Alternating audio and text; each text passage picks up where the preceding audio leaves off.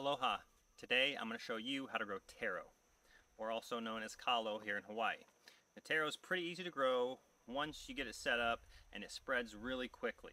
So I planted a bunch of taro in this area here not too long ago and now they're like everywhere.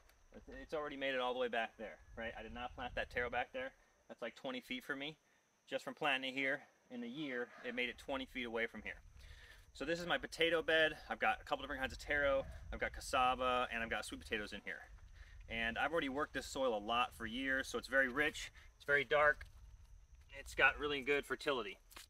If you're planting a new taro bed, you're gonna have to really work that soil if you want it to grow well. If you just stick it in soil around here, they're not gonna do that well. I mean, they'll grow, but they struggle and you're not gonna get much of a root. So I don't need to do anything to this soil. I've already uh, worked it for three years. It's really nice, it's really rich. It's really nice and fertile. It's got good drainage. If you're starting a new bed, I would add a little bit of drainage. Uh, here I use cinder. You could use sand or something else to give it some drainage. It doesn't need a ton, but some drainage, some mulch, wood chips, things like that to get like the soil to where it has some drainage so things can flow. Taro likes to be moist, but not like these varieties don't like to be soggy all the time. So my soil I make, it has some drainage. I probably put 10, 15% of cinder in there. And then I put mulch, compost, things like that. Um, and I also put some chicken manure, but you can put another fertilizer in there. I have a lot of chicken, so I use chicken manure. So if you're starting a new bed, I till that all up, get it nice, put some cinder in there or some kind of drainage, put some chicken manure or some kind of fertilizer, uh, put some mulch, compost. Taro really likes a really rich, fertile soil to do its best. And there's many different ways you can start taro. So you can buy a taro root from the store like this. Okay, I harvested this off the property, but you can buy a taro root from the store or from a friend or from a farmer's market, and you can just cut that top off, and then this will start rooting and grow a completely new taro plant.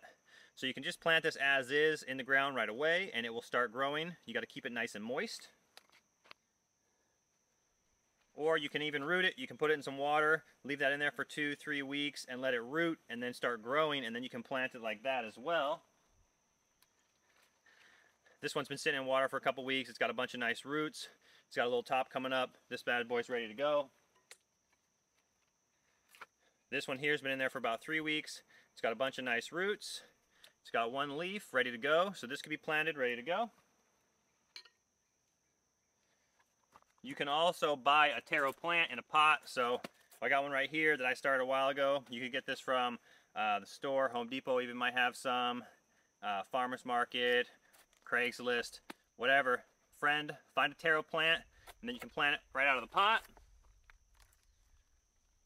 If you already have taro growing or you know a friend that has taro growing, you can go and get some slips that come out.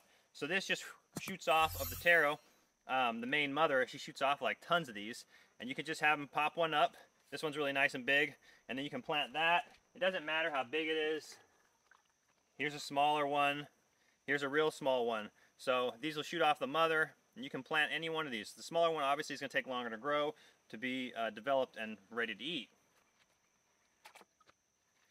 Alrighty, so once you got yourself some taro, you're going to need to de uh, develop your soil, you know, work it in, get it nice and loose, get some drainage in there. But if you already have soil that you've worked on, like me, I like to use this thing. It just breaks the soil up real easy.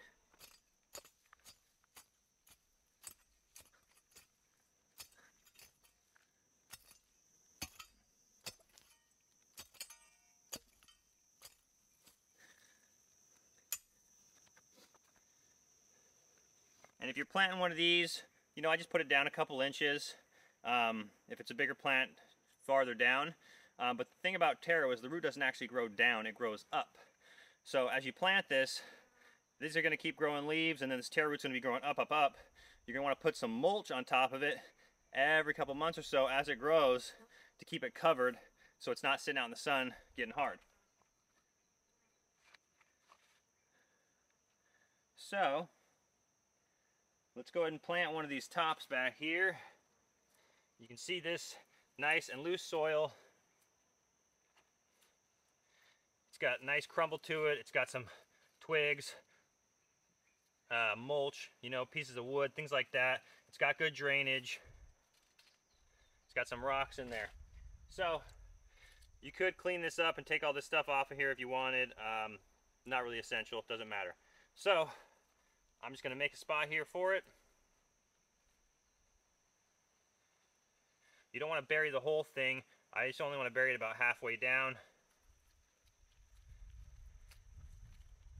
If you bury it too far and all the way underneath and it's raining a lot, it could rot and not grow and then kill it. So I just put it about part way down, just like that. And then you're going to want to water it, of course.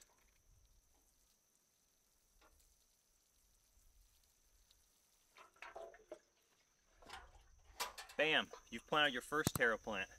You're doing amazing. So, I've got a few other ones here. Plant this long one. That one you can actually plant deeper because it's already pretty big. Got some rocks in here.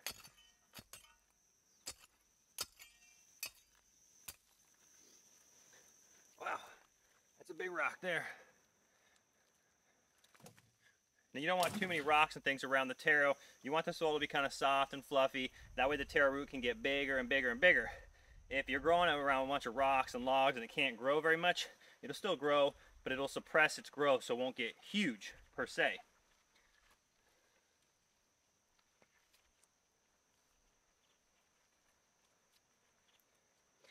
You don't want to plant these too close together because they put out a lot of babies, but I've got so many plants that I still plant them fairly close together. I'll plant this one maybe a foot apart. If you don't have a lot of plants and you've got more room, you know, put them two, three feet apart and give them plenty of room because the mothers are gonna put out tons and tons of babies. Like this, this one here, I put one plant here maybe a year ago and it shot out like 25 babies. So this one, I'll plant a little deeper because it's already growing. Put that there.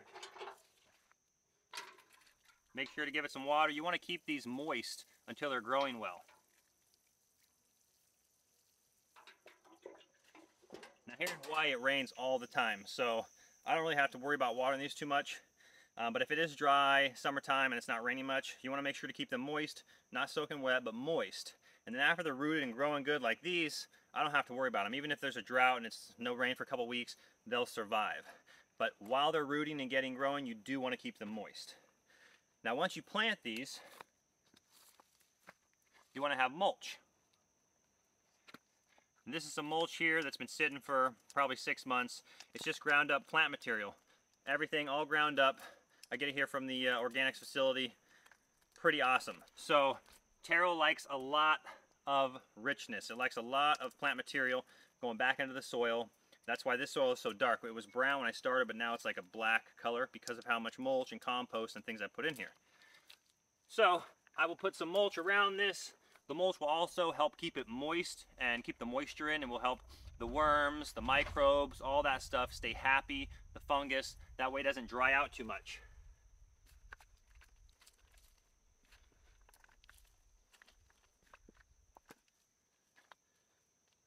Alrighty.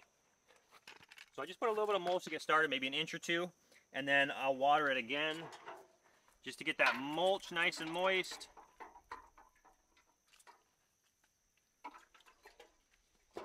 And I won't really water these until it needs it. So if it rains tonight, I won't water them for a couple days. If it's really hot and sunny, I'll check them. If they're getting dried out, I'll water them. But taro's pretty hardy. So the other thing I'll do is after these are getting growing and they have a few sets of leaves, I'll put some chicken manure around here. Um, but since they're just getting started and they have really fresh young roots, I'm not going to really put much fertilizer in here. There's already plenty of fertility in this soil. So once they have like two, three leaves and they're growing uh, and they want more, I'll put some chicken manure on top of the mulch. So the mulch has all the carbon and the chicken manure has the nitrogen and everything else. So you put the mulch down and then you put the chicken manure on top and that nitrogen will help break down all the carbon and unlock all these nutrients in here. And every so often I go around and put lime around the property as well. Sometimes I put a little bit of lime when I'm planting stuff here and there. I don't really go crazy on the lime. Probably should use it more often. So that's the basic for planting taro. I'm also going to plant this potted one here. So I'll make a little bit bigger of a hole. And if you're, if you're planting a potted one, you want to make the hole bigger, have it plenty of room, a lot of loose soil around it.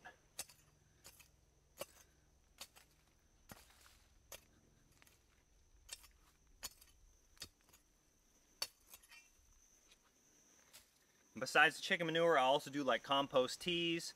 Um, I have some liquid fertilizers I make from the plants around here, and I'll spray that around every once in a while as well. The more nutrients you give it, the happier it'll be to an extent. Obviously, you don't want to over fertilize it, that would cause problems as well. You really want to be in that happy medium. You don't want to under fertilize, you don't want to over fertilize. Got some roots down in here, probably from the cassava.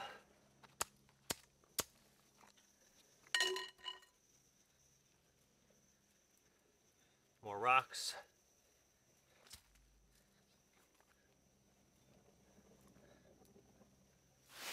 But the soil is really good. I've been working this soil for a few years. Lots of mulch, compost, chicken manure has gone into it.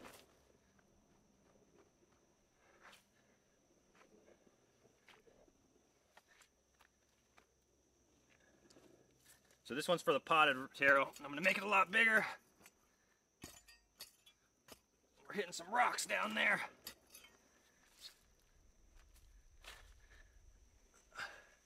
I definitely take out any large rocks.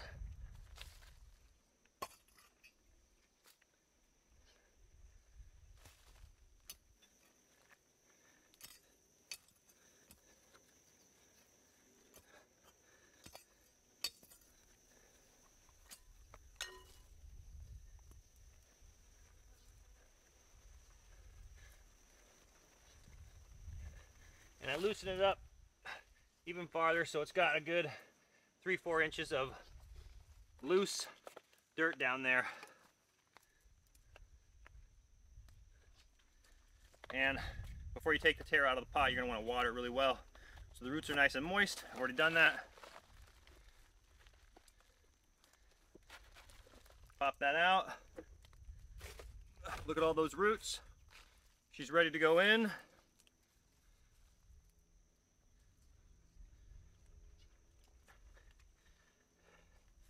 then just fill in around her.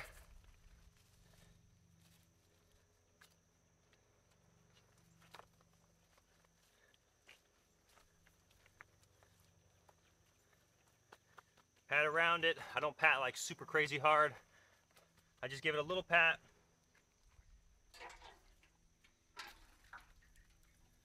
Give her some water as well. Always want to give the plant water when you're taking it out of the pot before you do that and after.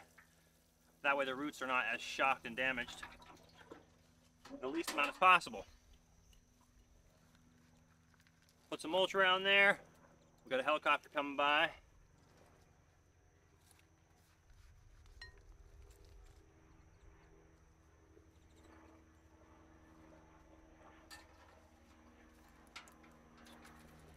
Some more water.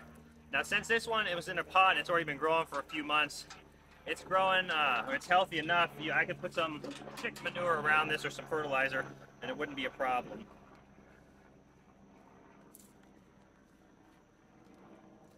All right, I'm gonna go ahead and plant these last two ones here.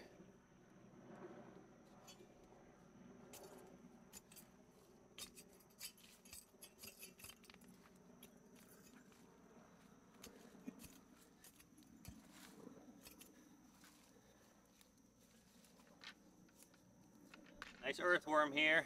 So many earthworms in this soil. That's how you know you got some good soil, plenty of earthworms.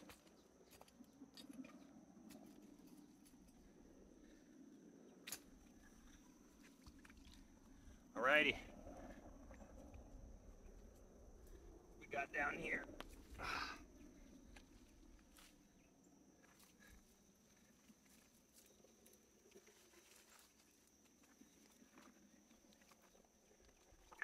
Ahead and plant one of these guys in here too, since I'm here. Might as well just plant them all. And with this, you really need to plant it, you know, down a ways because if you just plant it here, there's no support, it'll fall over. So you gotta plant it a ways up so it has some support, so it doesn't just fall over.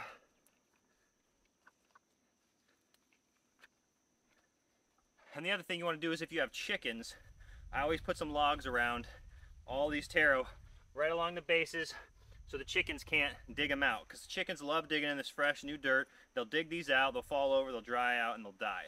So if you do have chickens or other animals, wild pigs, anything around, make sure you put logs or something like that around them to protect them.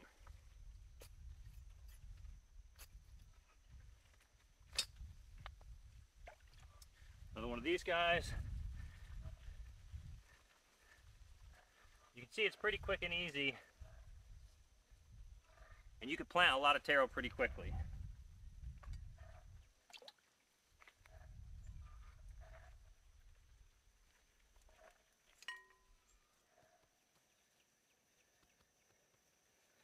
So we got one, two, three, four, five, six. We got seven taro plants already. Plant this tiny little one in here. All right, eight taro plants. Now, if you have plenty of space, you could plant these a lot farther apart. I've got so many plants, so many taro, I don't have that much space, so I just plant them wherever I can. Uh, I'm spreading them everywhere. Taro is one of the best food sources in my opinion. If you want to get food quick, you don't have to wait several years like a fruit tree. You start planting them, you can have the uh, food within eight, nine, ten months. And then once you get it spread, and I've got like thousands of taro plants now. They're everywhere. So I've got starch, carbs in the ground all over the place. So if something happened, there was a collapse, you just go around, start digging up roots, spread them around more, got yourself some food, and there's a lot of calories in taro. So if you got some taro, and then you catch a boar or something, you got yourself a real good meal. Alrighty, put the rest of the mulch around these. And in a couple weeks, I'll come back over here and I will put some fertilizer on here. I will be using chicken manure since I have a lot of chickens.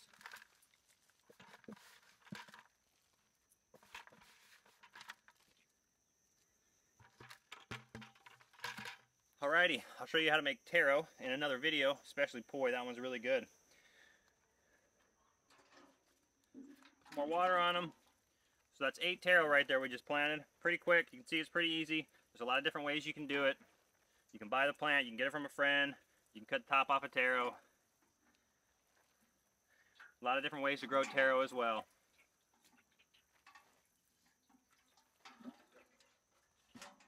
So what I'll do every month or two, I'll come here and I'll put a little bit more uh, mulch.